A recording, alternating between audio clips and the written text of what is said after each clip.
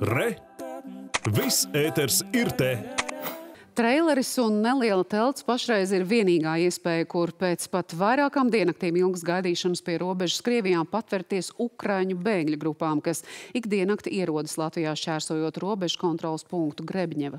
Citos punktos situācija ir labāka, taču tik un tā trūkst organizēta atbalsta no valsts puses. Tā uzsver brīvprātīgie, kas kopš pagājušās nedēļas Grebņevā sagaida Ukraiņus. Un plašāk ziņo Dinija Emeļānova.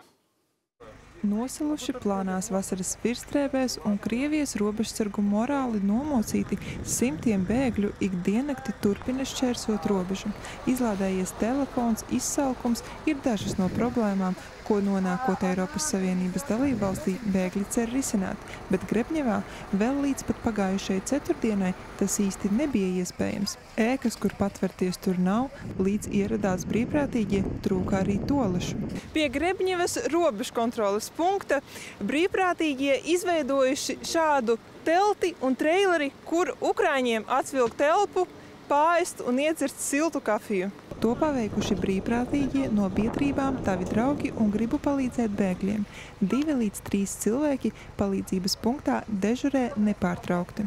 Tie nestandarta gadījumi ir tādi, ka, nu, pieņemsim, bija jāsauc ātrā palīdzība, jo cilvēks bija viss no, var teikt, ar tūsku un bez, bez, bez palīdzības viņš nevarēja iztikt. Ne? Tad šobrīd es saku, mēs risināsim, kā, kā šim vīrietim nokļūt līdz Kaunijai. Pārsvarā gan Ukraiņi ceļo grupās. Līdz robežai Krievijā viņus atved autobus, bet tur veidojas vairāku kilometru garas rindas. Morālais spiediens ir liels, tie referendumi. Mēs negribam dzīvot Krievijas sastāvā. Поэтому и бежим.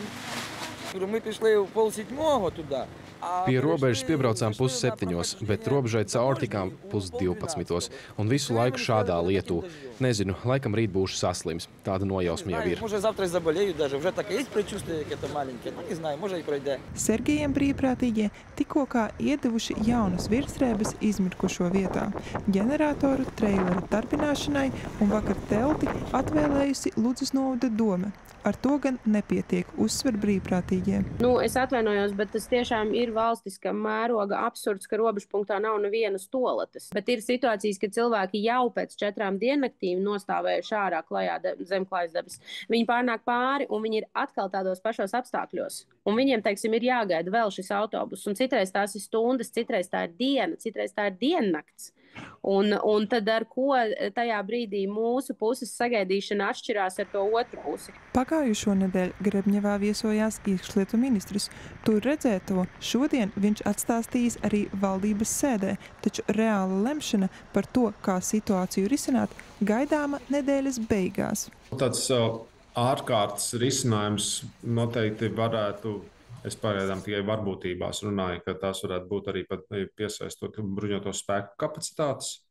Bet uh, normālā kārtā es redzu, ka tie ir uh, pārvietojamie celtniecības vagoniņi. Tikmēr biedrību pārstāvi jau plāno līdzīgus palīdzības punktus veidot arī pie Terehovas un vientuļu robežu kontrolas punktiem. Uz turieni jau nogādātas mēbeles un ūdens. Dīnija Jemļanova, Māris Justs, Latvijas televīzija.